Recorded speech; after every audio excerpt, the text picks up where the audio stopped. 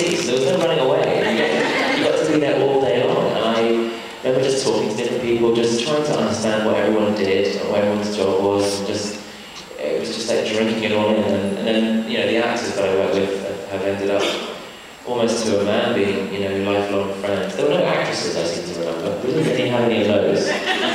Maybe that was such a harmonious shoot. no sexual tension. No, no, no, I don't mean like that.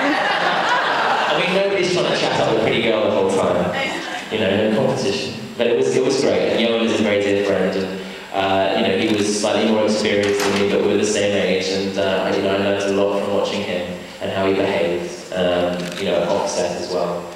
Uh, you know, great actors like Robert Lindsay and Denis Lawson and uh, Antony Sher that I got to work with. And it was um, it was a hell of an experience, and it was lovely that we, we would go away and come back and do another one. So it was like a, a real family by the end, and I was really spoiled to have that as a first experience because it taught me that you know these these things were more than just a job, and yeah, I learned